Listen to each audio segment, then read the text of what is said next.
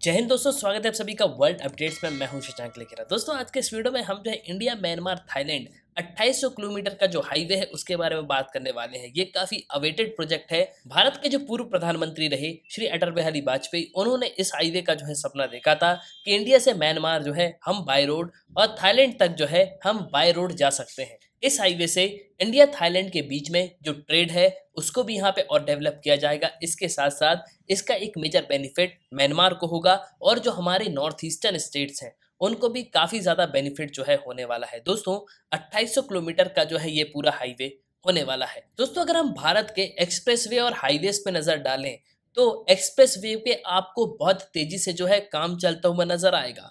भारत में total length अगर हम देखें तो लगभग 4,219 किलोमीटर के एक्सप्रेस वे हमको देखने को मिलते हैं।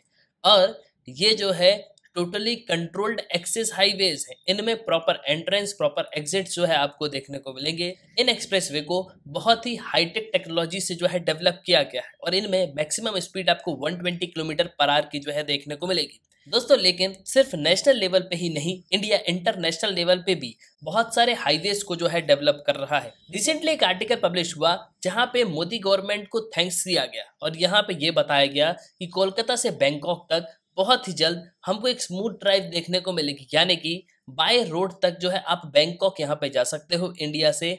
इसके अलावा आप म्यांमार भी जो है जा सकते हो। 2027 तक ये जो पूरा हाईवे है, ये बन के जो है तैयार हो जाएगा। दोस्तों, अगर हम इस पूरे प्रोजेक्ट की बात करें तो एक ट्राइलेट्रल हाईवे प्रोजेक्ट है। सबसे पहले इसका जो विजन है, वो प्राइम मिनिस्टर अटल बिहारी वाजपेयी ने देखा था। 2002 में जब इंडिया म्यांमार थाईलैंड की मिनिस्टेरियल लेवल की मीटिंग हुई थी तब इस पे जो है यहाँ पे चर्चा करी गई थी कि हमको जो है इस तरीके से एक हाईवे को जो है डेवलप करना चाहिए। लेकिन दोस्तों, उसके बाद जब सरकार यहाँ पे बदल गई तो यूपीए की जो सरकार है, उसने जो है कुछ ज़्यादा यहाँ पे काम नहीं किया।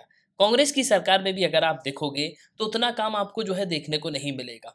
क्योंकि उनका यहाँ पे ये कहना था कि बहुत सारे रोड ब्लॉक्स थे, बहुत सारे प्रॉब्लम्स थे, इस वजह से हमने इस प्रोजेक्ट को जो है बिल्कुल भी यहाँ पे क्लियर नहीं किया। लेकिन जब 2014 में एनडीए की सरकार, यानी कि प्राइम मिनिस्टर नरेंद्र मोदी की सरकार यहाँ पे आती है तो उसके बाद इस पर जोरों शोरों से जो है काम शुरू हो जाता है। अगर हम इस पूरे हाईवे की लेंथ को देखें तो ये 2800 किलोमीटर का हाईवे है। इसको bay of Bengal initiative for multi sector technical and economic cooperation, यानी कि बिम्स्टेक का ये एक प्रोजेक्ट है, जिससे हम मल्टीलेटरल जो ट्रेड है, उसको यहाँ पे बूस्ट कर पाए। दोस्तों, India, Myanmar, Thailand trilateral highway इस पूरे हाईवे का नाम है। इसको शॉर्ट फॉर्म में आईएमटी हाईवे कहा जाता है। इसके अलावा एशियन ट्राइलेटरल हाईवे भी जो है इसको कहा जा रहा है। ये अभी अंडर कंस्ट्रक्शन है। इसमें भारत में मोरे जो कि मणिपुर, थाईलैंड में माइसोर म्यांमार होते हुए आप जो है यहाँ पे पहुँच सकते हो। इसमें नॉर्थ ईस्टर्न राज्य का भी आपको बहुत ज़्यादा योगदान देखने को मिलेगा। यानी कि ये कोलकाता से तो यहाँ पे शुरू होगा ही। इसके साथ साथ जो हमारे इंपॉर्टेंट शहर हैं नॉर्थ ईस्ट के उनको भी जो है कनेक्ट करता हुआ म्यांमार जाएगा और म्यांमार से जो है आप यहाँ पे थाईलैंड जा सकते हो। दोस्तों, अगर हम इस पूरे प्रोजेक्ट की बात करें तो बिम्स्टेक जो कि बे ऑफ़ बंगाल के पास वाले जो देश हैं, उनका एक समूह है। उन्हीं कंट्रीज़ की कनेक्टिविटी को इम्प्रूव करने के लिए इस प्रोजेक्ट को जो है लाया गया है। बिम्से की अगर हम बात करें तो bay of Bengal initiative for multi sectoral technical and economic cooperation ये इसका फुल फॉर्म है। ये एक इंटरनेशनल ऑर्गेनाइजेशन है और इसमें आपको सात साउथ एशियन कंट्रीज़ जो है देखने को मिलेंगे। जो कि 1.73 बिलियन पीपल्स यहाँ पे रहते हैं। अगर आप कंबाइंड इकोनॉमी देखोगे इन सात देशों की तो आपको लगभग 4.4 ट्रिलियन डॉलर जो है देखने को मिलेगी।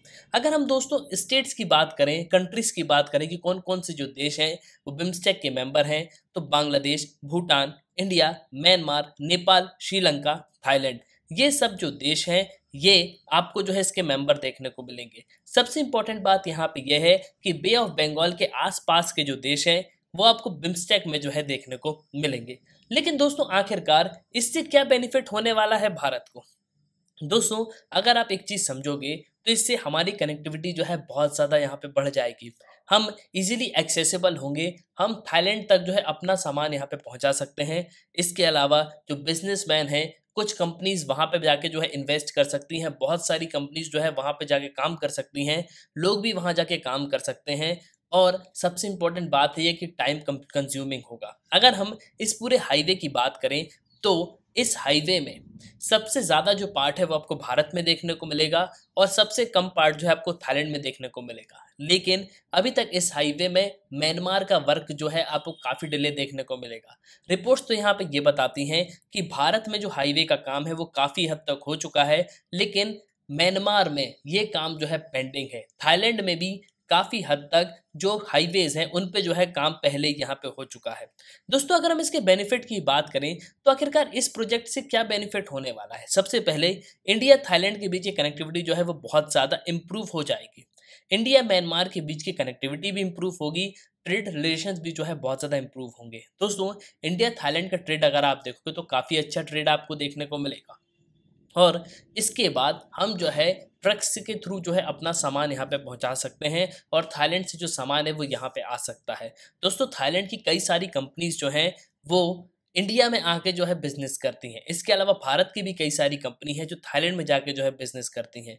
इसके अलावा थाईलैंड के बाद अगर आप देखोगे तो भारत अपना सामान जो है और दूसरे देशों में भी यहाँ पे पहुँचा सकता है। दोस्तों, एक तरफ़ हम देखें तो हमारे पास अरेबियन सी है। अरेबियन सी से हम दूसरी तरफ़ जो है यहाँ पे बिज़नेस करते हैं। यानी कि जो वेस्ट साइड है, हम उस तरफ़ जो है अपना सामान यहाँ पे पहुँचा सकते हैं। मिडिल ईस्ट की तरफ़ जो है यहाँ पे पहुँचा सकते हैं और वहाँ से वो जो सामान है, वो यूरोप तक जो है पहुँच सकता है। लेकिन दोस्तों, अगर हमको कुछ सामान जो है कहीं और भी भेजना हो, यानी कि ईस्टर्न कंट्रीज़ में यहाँ पे भेजना हो तो हम जो है थाईलैंड के थ्रू यहाँ पे भेज सकते हैं।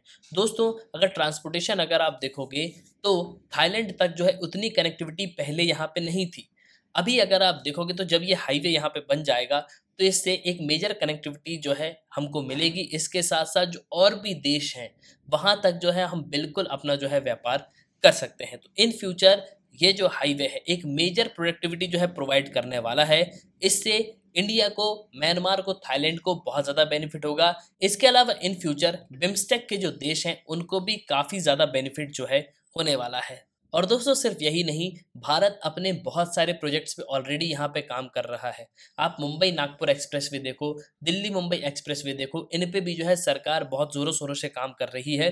इसके साथ साथ जो हमारे रूरल ट्रांसपोर्ट के मिनिस्टर हैं नितिन गडकरी, वो तो यहाँ पे बहुत सारे हाईवेज को जो है डेवलप करने के विजन लेके चल रहे हैं। तो इन फ्यूचर इंडिया को बहुत ज़्यादा जो है बेनिफिट होने वाला है। दैट लास्ट आई होप कि आपको जो है इस वीडियो में काफ़ी कुछ जानने को मिला होगा। आप अपने ओपिनियन लिखिएगा ज़रूर। इसी के साथ ये तंत्र इस वीडियो का सुनने के लिए बहुत धन्यवाद। जय हिंद, जय भारत।